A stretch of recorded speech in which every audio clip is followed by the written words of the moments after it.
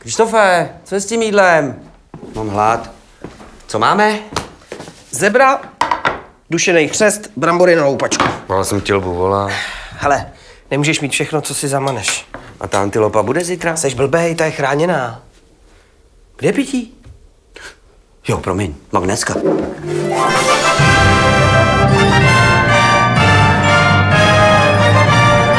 Sílu českým lvům dává Magnézia. Já to říkám pořád. Sílu českým lvům dává magnézia. A rychlost?